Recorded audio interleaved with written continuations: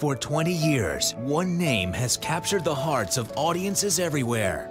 My name's Forrest, Forrest Gump. What's up, guys? So, Forrest Gump was re-released in the theaters in IMAX. Not IMAX 3D, but just IMAX. So I went to see it, and I am going to review it. And surprisingly enough, I have never reviewed Forrest Gump, or I don't even think I've talked about Forrest Gump uh, within my little over two years on this channel. I don't think I've ever brought up the film or, or talked about it. So now I'm going to review the movie. So going into Forrest, I obviously already knew it was going to happen. I saw the movie, so basically I just went in to see it on the big screen. When the movie starts out, you just get, you know, you, your your first impression is just see this guy, uh, Tom Hanks, he's sitting on a on a bench, you know, he's like waiting for a bus or something, and, uh, you know, these people start sitting down and he starts telling these people his life story. So basically the whole film is just him narrating, you know, you know every single you know step that he's been through in his life and every big you know change and event and occurrence that happened in his life. All that from being uh, you know for when he was a kid and he had the leg braces on to where he grows up he goes to Vietnam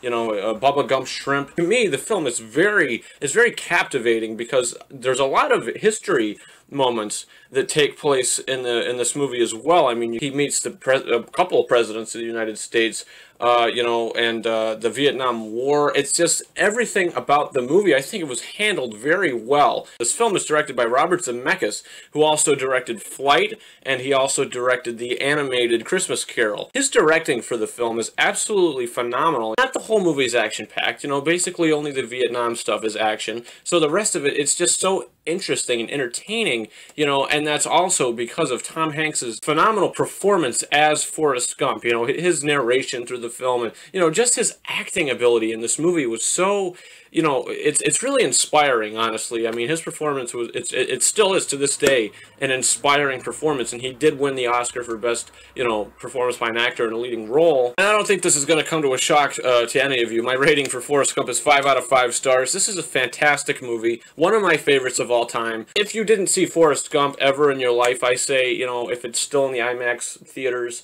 or if you have any IMAX theaters around you, go and see the movie.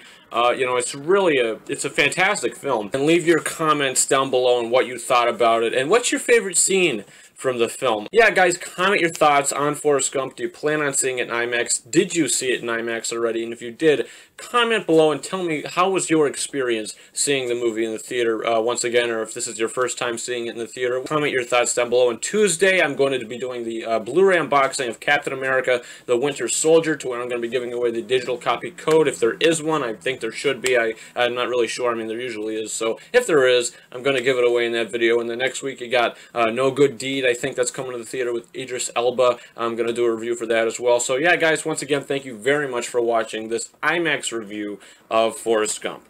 Over and out. Don't miss Forrest Gump for the first time ever in IMAX. One week exclusive starting September 5th.